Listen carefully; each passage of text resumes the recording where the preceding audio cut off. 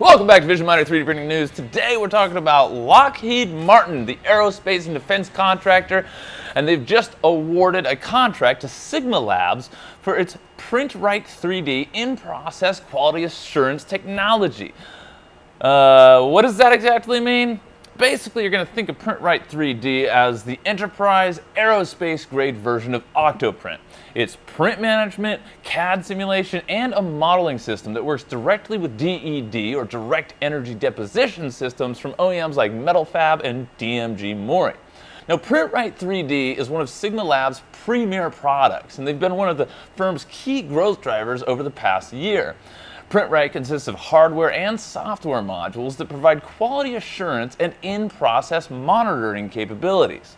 PrintRite combines inspection, feedback, data collection, uh, and critical analysis to find potential anomalies that might occur during the printing process. And this cuts down time on post-production testing where parts are validated for their actual use cases.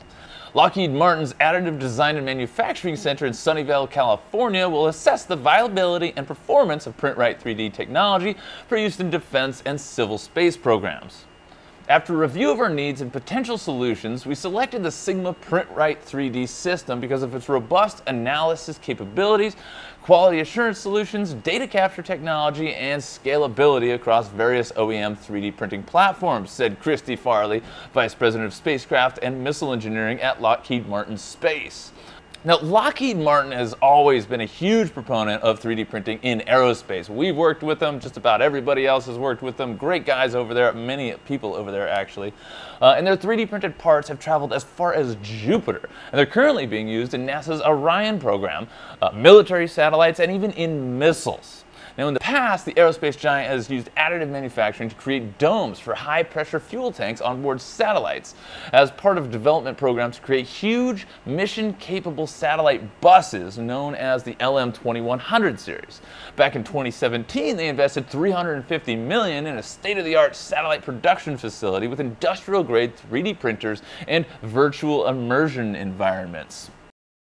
Their Sunnyvale-based Additive Design and Manufacturing Center became UL 3400 certified for additive in 2018, meeting all the safety and hazard mitigation procedures for handling 3D printers, powdered materials, and factory operations. We've got all the latest and greatest 3D printing news here every week, so like this video if you enjoyed it and make sure you subscribe so you know when the next one comes out. Until then, have a positive rest of your day and I'll see you on the next one.